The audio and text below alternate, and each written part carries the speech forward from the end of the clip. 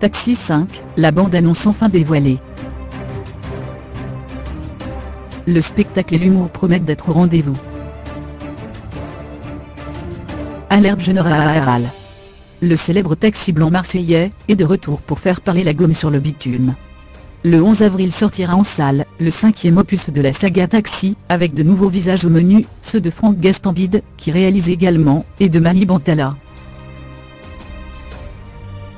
Le synopsis officiel, Sylvain Marot, super flic parisien et pilote d'exception, a muté contre son gré à la police municipale de Marseille. L'ex-commissaire Gibert, devenu maire de la ville et au plus bas dans les sondages, va alors lui confier la mission de stopper le redoutable gang des Italiens, qui écume des bijouteries à l'aide de puissantes Ferrari.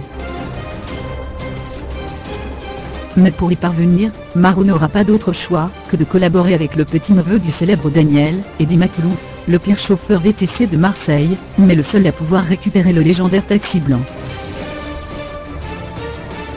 Dans ce nouveau volet, si les personnages de Gibert, Bernard Farcy et Trésor, Édouard Montout, sont de retour, les fans de la première heure n'auront pas le plaisir de revoir Daniel Moral, joué par Sami Nasri, ou bien son compère campé par Frédéric Diffental.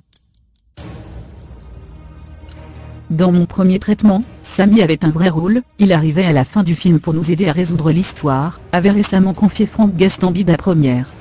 Luc Besson m'a dit que le personnage ne pouvait pas avoir une place aussi importante, parce qu'on avait besoin d'un nouveau duo de héros et que ce soit leur film. On ne pouvait pas se reposer sur les anciens.